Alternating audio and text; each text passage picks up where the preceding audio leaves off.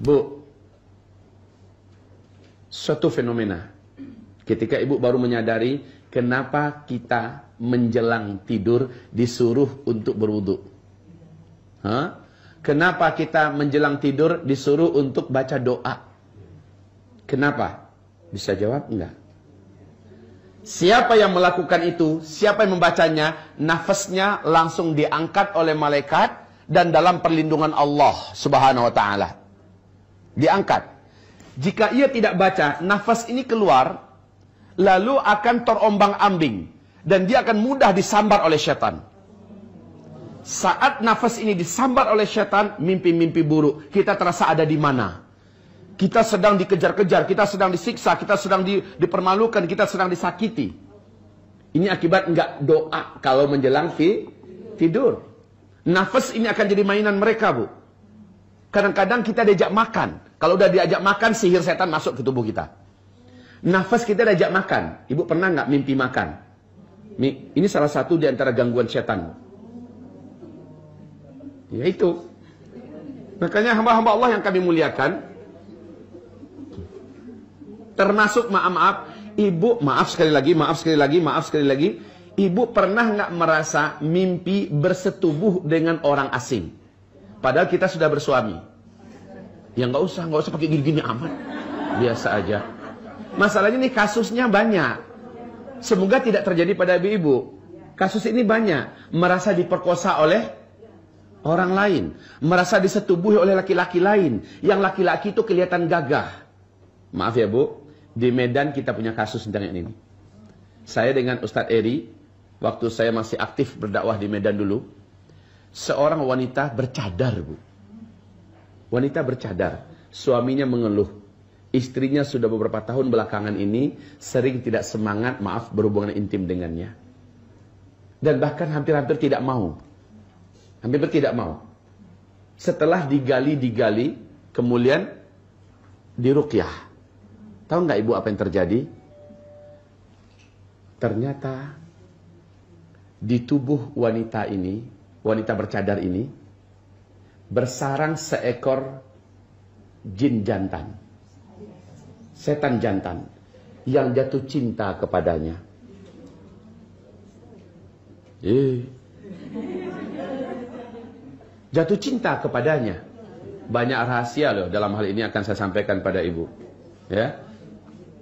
Bu, setelah wanita ini disadarkan, wanita ini disadarkan, lalu kita kita perlihatkan kepadanya hasil tontonan. Setan yang dalam tubuh wanita ini berkata, saya tidak mau meninggalkan perempuan ini. Saya sudah menganggapnya istri saya. Kami selalu berhubungan tiap malam. Saya jatuh cinta kepadanya omongan setan, omongan wanita ini, yang setannya ngomong, kita tontonkan kepada wanita ini ketika dia kita sadarkan. Baru dia ngaku bu, bahwa tiap malam dia didatangi lelaki tampan. Yang sangat perkasa. Dan dia sangat puas berhubungan intim dengan lelaki itu. Dan itu menjadikan dia tidak berselera lagi dengan suaminya. Dan itu maaf bu, bukan hanya malam. Kapan dia tertidur, dia didatangi lagi laki-laki itu dan berhubungan intim lagi. Selepas tidur saya pasti capek. Saya dia dan dia berkeringat, Bu. Betul-betul dia merasakan seperti apa dia merasakan berhubungan intim nyata. Ini salah satu oh, contoh bahwa wanita ini telah disetubuhi oleh jin, oleh setan. Baru dia ngaku, Bu. Dan wanita ini berkata sambil menangis dan dia malu pada suaminya, ya. Yang menyebabkan saya tidak bernafsu dengan suami saya karena suami saya tidak segagah laki-laki itu. Baik secara fisik maupun secara kemampuan seksual. Akhirnya bu, disadarkan dan dia menangis dan dia mau tobat. Nah ini wanitanya mau tobat. Kamu sadar nggak kalau kamu berzina? Kamu sudah bagus bercadar. Kamu sudah bagus memakai pakaian muslimah sempurna. Tapi kamu itu sudah berzina. Dan dia nggak nyadar. Katanya selama ini saya hanya mimpi. Saya menganggap itu hanya min. Ini bahaya kalau nggak berilmu ya. Bahaya nggak berilmu kayak gitu. Nah ibu, kasus seperti ini banyak di Malaysia. Di Malaysia sampai diangkat ke acara sampai ke tingkat televisi nasional Malaysia bahwa sangat banyak wanita-wanita yang diperkosa oleh bangsa jin di dalam tidur. Dengan cara datang berupa laki-laki yang ganteng, gagah. Ada juga kadang-kadang caranya begini. Bu, suaminya pergi. Suaminya pergi ke Jakarta umpamanya. Baru saja berangkat, suaminya pulang kembali. Mas kok nggak jadi pergi? Ada yang berubah. Sepertinya program kepergian saya pending. Maka bersuaminya bersamanya berhari-hari dan bersetubuh seperti normal. Kemudian suaminya sesungguhnya pulang. Dan minta dilayani. Apa kata istrinya? Kan barusan tadi udah. Kan barusan tadi udah. Suaminya heran. Kapan? Loh, mas dari mana? Saya dari Jakarta. Saya selama satu minggu ini di Jakarta. Hah? Gimana mau HP-HPan? Orang tiap hari di sini, bahkan suaminya pun hampir-hampir dikatakan nggak pergi. Saya mau cuti habis, saya mau melepaskan rindu dengan kamu. Waduh, bu, mesra habis-habisan sehingga istrinya ini sampai nggak nyangka suaminya sekuat ini. Maaf ya bu ya, maaf ya bu. Sekali lagi itu adalah makar se, makar setan. Nah, pada akhirnya kita kembali kepada kisah ini bahwa sang setan sering menjelma wujud suami kita yang pergi lalu dia datang. Makanya Bu, mau maaf ya, mau ML tuh baca doa. Baca doa, insya Allah setannya nggak akan sanggup mendekati kita. Ya, ini asal semangat aja ngandalin. Oke, kembali kepada wanita bercadar tadi. Sekarang dia sudah tobat.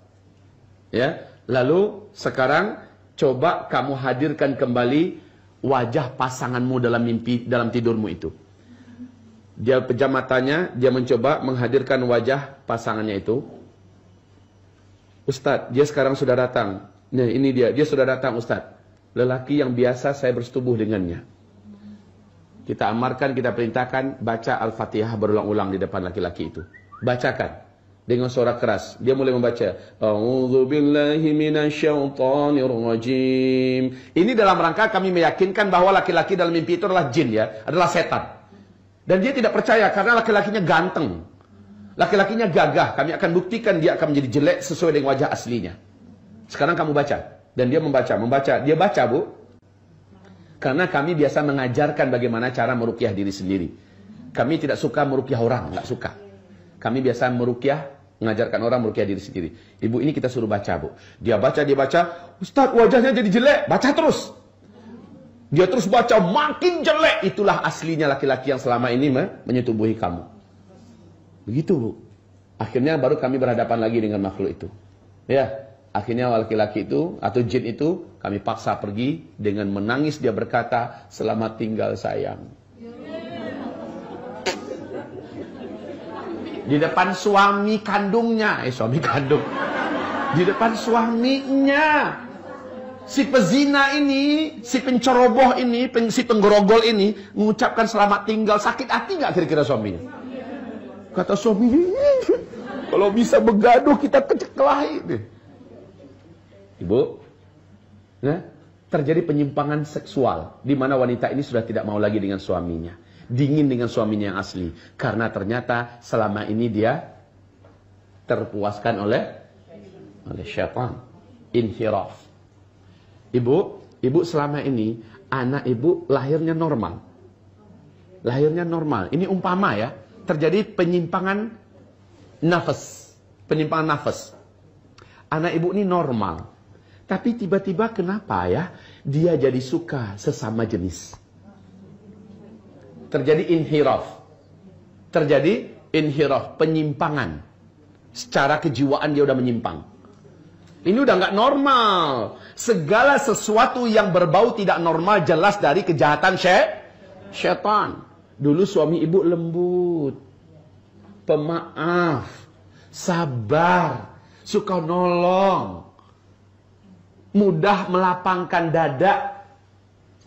Kalau kata orang Padang, indak sampai kalang.